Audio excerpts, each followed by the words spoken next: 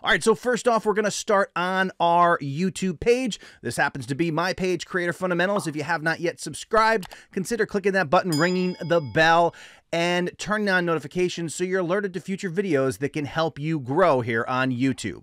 So from your main YouTube page, we are going to click on Customize Channel. You can also click on Manage Videos. Both of these buttons are going to bring you into the back end that is known as YouTube Studio. You can also click on your icon in the upper right hand corner and go to YouTube Studio there as well. So there's plenty of ways to get into YouTube Studio. We'll use this version for now because that's the one we're on. This is YouTube Studios. This is behind the scenes. This is where you're going to check out how your channel is performing. But we're going to focus our attention the most over here in the left-hand menu for customizations. This is kind of a helpful part to be aware of, especially when you're setting up your YouTube channel, because this is where you're going to control the look and feel of your YouTube channel. So on the branding tab, we see right here, we have both our picture, our icon for our channel right here. You can change or remove it here. And then we have our channel banner.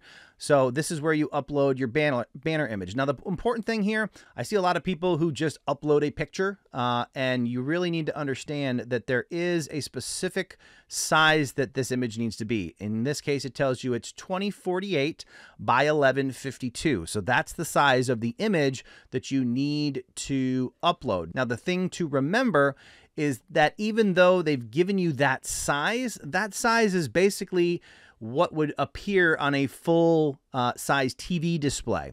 The part of it that appears on a browser is just basically the center bar of that channel art that you've uploaded. So you really want to get a better idea of that. I actually use Canva uh, to do all of my graphics, and uh, you can go to trycanvapro.today uh, to check that out. It is um, they do have templates there specifically for channel art, so you can see the portion in the middle of the actual oversized image that's going to appear on browser and on mobile. So you want to make sure all the elements that you put in your channel art are not going to get cut off if somebody's viewing it on browser or on a TV or on a desktop, etc. So that's where you can start there. And then also, down here, you have your video watermark. If you've ever seen that icon in the lower right hand corner of a YouTube video, when you hover over it, it gives you a subscribe button. So it's a great way to be able to add a subscribe functionality within the video itself. Now, you can put any picture that you want there if you just want to use it as a watermark and it can just be a logo.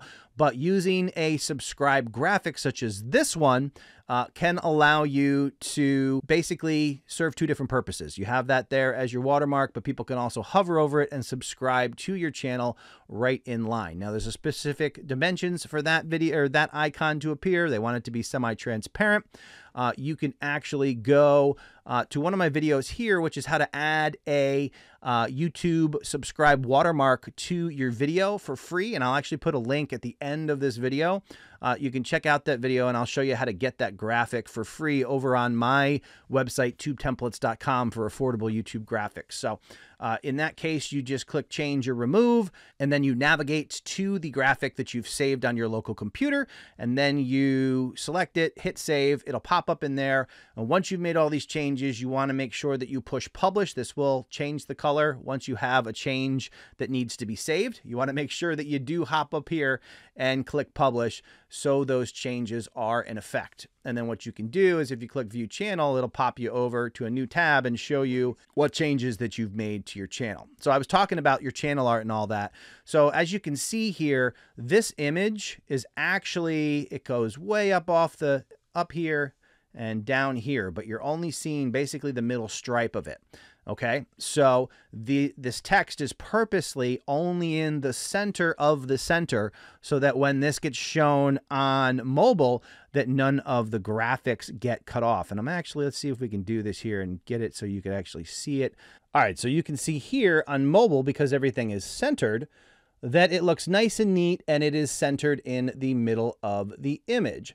Now, if we hop back over to the desktop version, you'll see that there are some additional graphical elements, but they're placed in such a way that they don't get cut off when this is sized down to mobile. So those are just some things you want to think about with your channel art to make everything look nice and clean and professional and make it look like you know what you are doing. Don't let the learning stop here. I'm going to put a video on the end screen now that's going to help you to continue to learn how YouTube works and how you can use it to grow your channel and make revenue so you can create your freedom. I'll see you in the next video.